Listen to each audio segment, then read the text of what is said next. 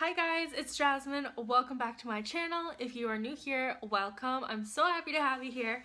Um, today I was going to talk about how to get the job that you want and I recently um, got a new job. It's like an office job, very adult.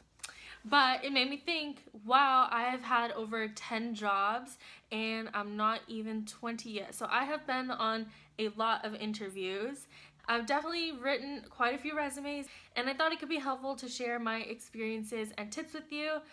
So I have a handy dandy notebook here. If you see my last video, um, I used this notebook to take notes because I ramble a lot. So hopefully this will keep me on track. Okay, so the first thing you're gonna focus on is your resume. You can't get a good job without a good resume. So let me just break that down for you. So resume, the first thing you're gonna have is information about you. So your name, your address, your phone slash email. You want to give the interviewer a way to contact you back when they want to hire you. So there's a lot of templates you can use online, even um, what is it called? Google Docs. There's a few resume templates that you can use. Um, and yeah, so if you're not sure on how to format it, um, there's a lot of templates you can find online. The next thing you're to have is your job experiences or if you're maybe young and you haven't started working yet, um, you could put your volunteer experience, anything that would be relevant to show that you're trustworthy and that you can do the job. Um, for every job experience or volunteer experience, you're going to write a brief summary of your responsibilities and the things that you had to do.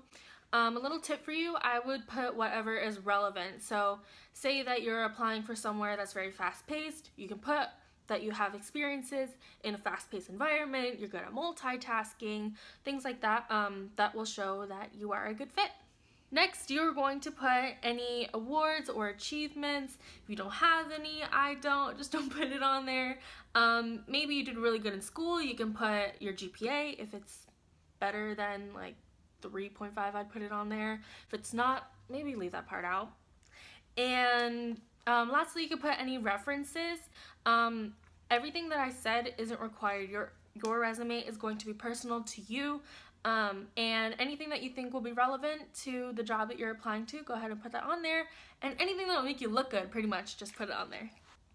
Next, we're going to talk about cover letters. Um, now I feel like it's not really required everywhere to have a cover letter, um, especially if you're applying online. Some websites will have you put in a cover letter, some will say it's optional, some won't have that option at all. But basically the point of a cover letter is to show um, your personality and for it'll give you a chance to explain why you deserve the job or why you'd be the best at it. Um, it's a good place to also explain anything in your resume that you might have to explain. Maybe you took a six month gap of not working, or maybe you never had a job, or maybe got fired from your last job. Whatever the resume, whatever the interviewer is probably going to wonder when they receive your resume, your cover letter is your chance to explain before they meet you so that they can decide whether you deserve an interview or not. Next, we're to talk about dress code. So let's say you apply for a job and yay, they call you back, they want to interview, and you're just like, what the heck, I have no idea what to wear. Trust me, this is something that I still like stress about after going on 10 plus interviews. No matter where you're applying, you want to look professional and you want to look like you can be taken seriously. Um, let's say you're working somewhere fast paced, I would wear something comfortable. Maybe don't wear like a suit to like a casual environment. That's just me though. Say you're working somewhere like a desk job. You definitely want to dress a little more conservative. I wouldn't show a lot of skin. Um, I would cover tattoos just in case. Um, more and more places are allowing you to show your tattoos, but it's still kind of a rule that you shouldn't in your workplace. And I would keep makeup to a minimal unless you're working somewhere trendy, maybe a clothing store or makeup counter, that would be a good place to kind of show off your style. It really depends on where you're applying. So the general rule of thumb is dress in a way that it'll make it easy for the interviewer to imagine you working there. And if you're working somewhere that's really casual, let's say like a serving position, when in doubt, dress a little nicer than your position calls for. And yeah, so now you know what to wear. now you got to get ready for your interview.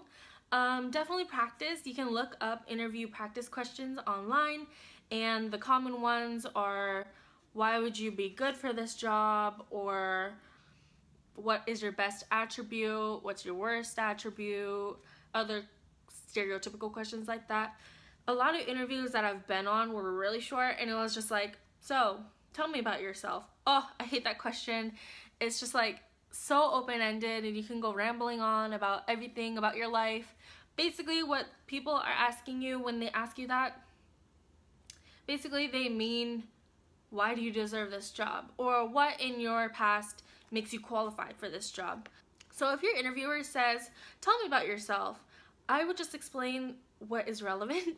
Don't tell them about your collection of, I don't know, mugs or something random like that. Don't tell them, don't ramble about your life. Um, tell them where did you go to school? Where, where is the most recent place you worked? Why did you leave there? Why are you looking for a new job?